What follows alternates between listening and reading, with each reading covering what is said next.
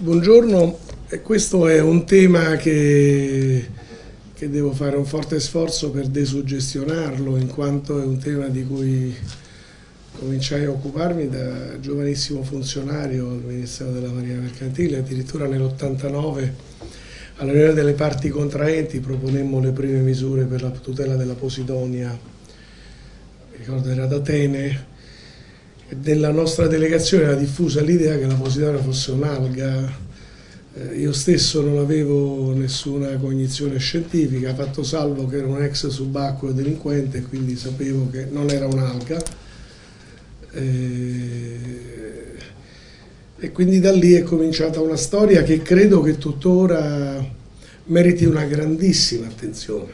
Io ho molto piacere di, ho anche un altro fattore prodotto dall'anzianità, eh, cioè che vedo qui tanti ex colleghi, amici, conoscenti dell'ex ICRAP, poi ICRAM, insomma, tutti, compagni di strada di una storia che tuttora stentiamo però a far decollare, questo dobbiamo dircelo. Ricordo un giovane professore, si chiama Fresi, che faceva un'associazione, si chiama SOS Fascia Costiera, ci martorizzava sulle secche di Tor Paterno, ho visto Scardi, che, oppure le attività dell'Antondoro, insomma ho tanti ricordi affastellati in un paese che continua a pensare che la Posidonia sia lo, anzi come dicono quelli del no, lo sporco. Eh, ed è evidente che quindi va fatto il massimo sforzo eh, laico, razionale, a tutela di un bene che incarna forse il più importante servizio ecosistemico, i servizi ecosistemici più rilevanti della fascia costiera.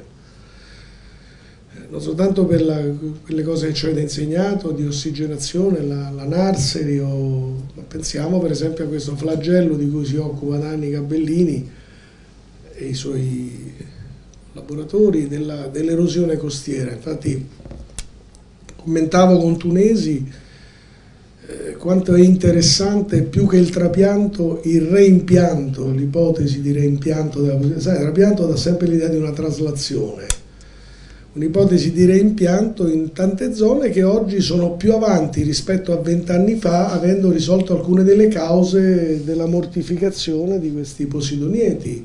Penso quanto vent'anni fa fosse più diffusa aggressivamente la pesca strascico financo sulla, sul bagnasciuga oppure quanti passi avanti sono stati fatti. Io ieri ero a Castelporziano e il mare ha un colore oggi, vent'anni fa, inimmaginabile, è un'altra cosa. E probabilmente lì parlare di reimpianto a fronte di un'erosione consistente in atto, probabilmente non sarà solo la Posidonia la causa, però vuol dire parlare di un paese che difende le più importanti risorse di cui dispone che è tema molto controverso adesso, in una fase di crisi radicale, di crisi strutturale, di un modello industriale che sta venendo a pezzi, peraltro non per merito nostro perché siamo stati critici, ma sta venendo a pezzi per cause endogene, per la competizione internazionale. Essere in grado di mettere sul piatto un modello anche di economia che ci aiuti a risollevarci da questa crisi, a partire dalla valorizzazione delle cose di cui siamo ricchi, che è la bellezza, la natura, la cultura, eccetera, eccetera, naturalmente come soluzioni che concorrono, non soluzioni esclusive, ripropone l'importanza, per esempio, per l'economia turistica, ma non solo, della nostra fascia costiera che è peculiare e quindi innanzitutto della difesa della fascia costiera, e uso il termine difesa per gli addetti ai lavori perché è messa a rischio, stante il progress veramente geometrico dell'erosione di, di ciò che è erodibile lungo la fascia costiera.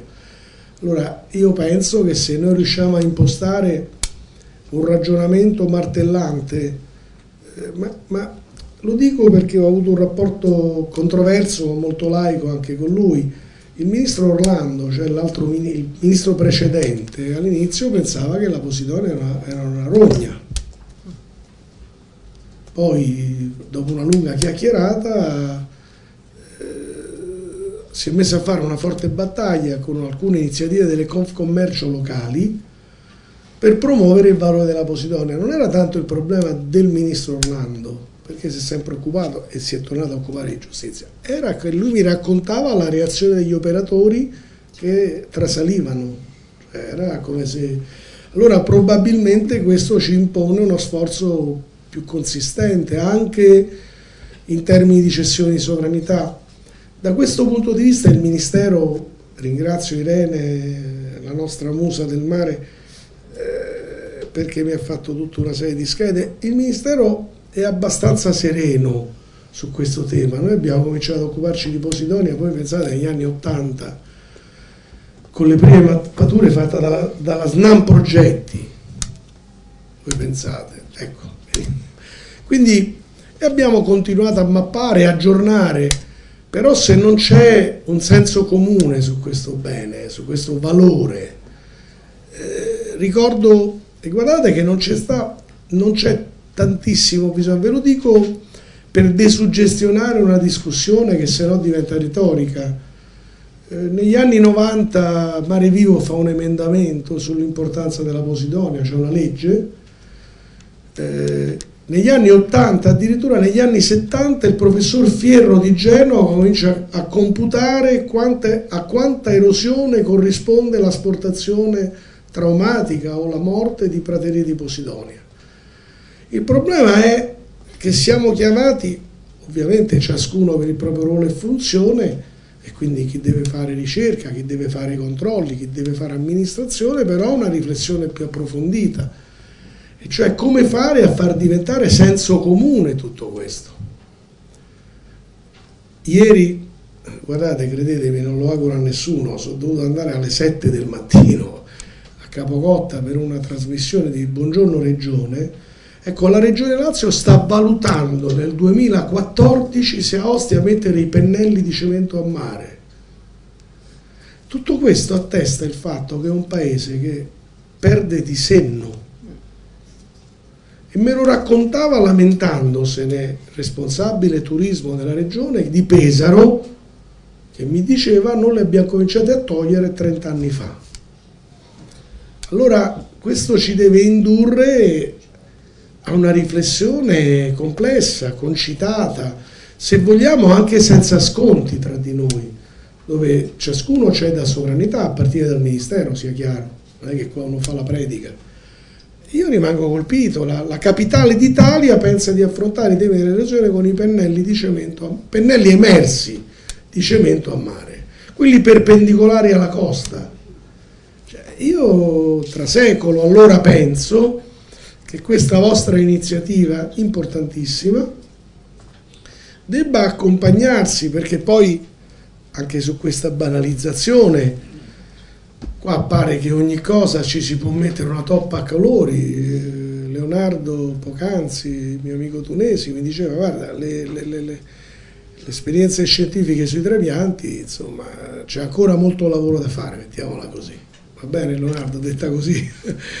Eh, ecco Ancora oggi, in queste ore, noi stiamo parlando di Concordia e che c'è chi ci parla del trapianto dei posidonieti lesi. Voglio dire, allora, questo tema è, un, è una parola che non mi piace, l'ho già detto in un convegno dell'ISPRA, però nel caso della Posidonia credo si attanagli davvero. La Posidonia è davvero un bene comune per la multispettralità delle funzioni che svolge, no? O questa roba diventa da bene comune un sen senso comune se no noi stiamo a, a, rincorrere, a correre appresso a stravaganze, lo dico perché mi sento abbastanza di casa, quantomeno con molti di voi. Eh, perché davvero lo scenario, voi dovete immaginare, uno fa questo lavoro con sempre minore entusiasmo, salza alle 6, vai a Capocotta, io dico, sai, stiamo pensando di fare i, pen, i, pennelli a mare. Tu rimani, dici, vabbè, non scherzo. Eh, perché nella zona di Castelporziano si avverte anche visivamente una erosione consistente. Però ecco, questo è il paese reale col quale noi ci dobbiamo cimentare chi più di voi ci si cimenta organicamente, ordinariamente nelle varie esperienze che conducete, alcune diciamo rivolte alle parti più negative del nostro modello, penso al gruppo delle bonifiche, oppure chi come Leonardo oggi ci dovrà dare una mano in questi giorni per fare delle nuove aree marine protette. Ma in entrambi gli scenari penso che noi dobbiamo fare uno sforzo per, per rendere comprensibile, avvertibile che è un vero investimento che afferisce al presente e al futuro di tante economie costiere.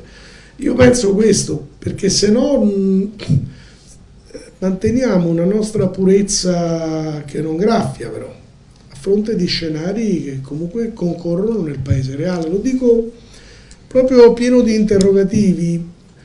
Eh, fra l'altro l'informazione, c'era stato un, secondo me un ottimo ministro dell'ambiente, era un giudizio personale, un ministro del passato che diceva se scrivessero di economia come scrivono di ambiente sui giornali, i giornalisti verrebbero linciati in mezzo alla strada. Ecco, voi vedete quanto è disturbata l'informazione sui temi ambientali, quanto è banalizzata, quanto a fronte di un paese che talmente celebra le proprie complessità che alla fine diventa il paese delle corporazioni, no? è tutto, tutto è articolato, non si può risolvere mai il problema.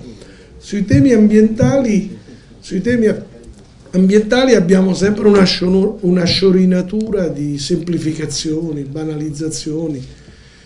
Eh, e guardate, non si deve andare lontano, noi per dare all'ISPRA, ma con pacata convinzione, sapete che io ho anche dei rapporti a volte vivaci con l'ISPRA. Perché guardi me? Vedasi la strategia marina, eh, tanto per non, per non nascondermi, però noi De Plano abbiamo dato l'istruttore di quattro nuove aree marine protette all'ISPRA, cioè, ma questo è così. E credetemi, c'è un ritorno di pruriti, fastidi, nevrosi. Io penso che bisogna fare in modo che ciascuno faccia la sua parte per le professionalità e le competenze che ha. E la Posidonia penso sia un tema nevralgico di queste attenzioni, non possiamo più trovarci eh, con non esperti che parlano di cose di cui non capisco.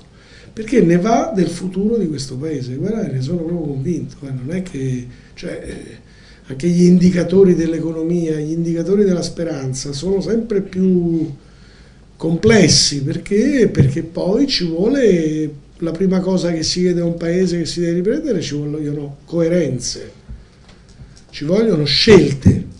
Noi abbiamo questo spaventoso debito pubblico perché il paese si è permesso per vent'anni di non scegliere aggiungeva tutto.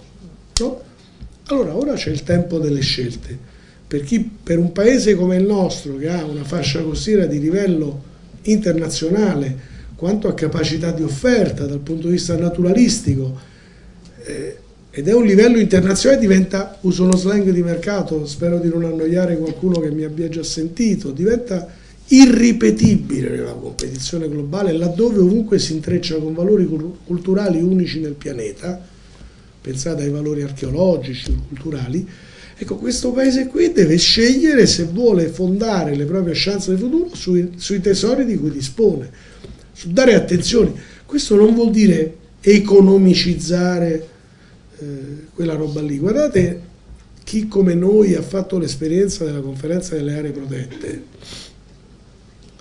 vi segnalo che ci sono dei partner sorprendenti anche sul piano dell'innovazione. Union Camere, chi come me, cioè come me nessuno, però chi più giovane di me tra voi si ricorda le prime battaglie sulle aree protette, le camere di commercio erano quelli con i quali ci si batteva armati.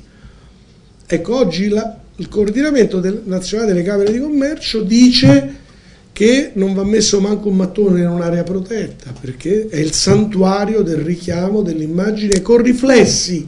Voi pensate alla sofisticatezza delle ricerche, con riflessi importanti sulle produzioni manifatturiere italiane, perché la manifattura italiana che continua a essere competitiva nell'export internazionale è evocativa della nostra qualità di vita. Il cinese che fa i soldi pensa di chiamare il figlio con un nome italiano, lo vuole far vestire italiano e mangiare italiano, no? Allora, salvaguardare questo scenario vuol dire salvaguardare una vocazione di un paese. Tutto questo è filosofia e suggestione? Penso di no, perché se lo dice Union Camere, quelli fanno i conti con carta e penna, cioè non è una, una filosofia. Allora, per esempio, il mio invito è che sulla Posidonia non dovete fare mai sconti a nessuno, innanzitutto al Ministero, lo dice il direttore generale, quindi figurate, perché è un bene comune che incarna una delle poche chance di futuro di questo Paese. Su questo tema bisogna andare avanti, mi dice, diciamo, ci incontravamo a metà strada qualche minuto fa con Leonardo perché ero seduto vicino a lui, il tema del reimpianto di Posidonia, laddove almeno apparentemente, poi ci sono gli studi, eh, scardi, non, non facciamo nulla, non facciamo empirismo, laddove sembra che alcune cause eziologiche della scomparsa di posidonieti interi, perché la torbidezza delle acque, i fattori inquinamentali, la pesca a strascico che vent'anni fa aveva ben altri numeri, insomma. No? Allora in quei casi ragionare di reimpianto di Posidonia vuol dire concorrere a salvaguardare un bene primario del nostro paese, sono le nostre spiagge. Per chi come me, ma questa è una platea di Valdostani, io sono meridionale, eh, per chi come me è meridionale, consistentemente meridionale, è difficile pensare a chance di futuro del meridione d'Italia che siano altro da una, dalla vocazione turistica, del tempo libero di quei posti. Allora le nostre riflessioni, che è bene che abbiano uno zoccolo scientifico qualificatissimo, concreto, comprovabile e ripetibile, però devono tenere presente che stiamo parlando di un bene essenziale che probabilmente non vale nessun porto turistico che si deve fare perché i porti turistici in questo paese rispondono a logiche dell'appalto e non del servizio, perché i porti turistici falliscono, perché non c'è la domanda. Allora, quando si affrontano questi temi qua, bisogna avere consapevolezza di cosa si mette in ballo tra una Posidonia che esiste lì magari da 3.000 anni e una robaccia che ci lascia uno strascico di immondizia, stavo dicendo una parola più forte, per, per qualche decennio. Allora ecco la, la vostra funzione, direi quasi sacerdotale.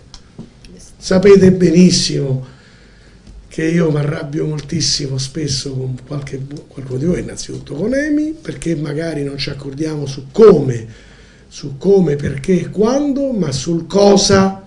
Io ho un profondo, non c'è stato mai un parere dell'ISPRA confutato dalla mia direzione e dal Ministero in generale. Allora io chiedo pareri rigorosi, che non facciano sconti, ciascuno faccia la sua parte, chi ha da difendere motivazioni socio-economiche esca allo scoperto, non si può dire che la, la Posidonia è un fattore esteriore e su questo penso che dobbiamo andare avanti assieme.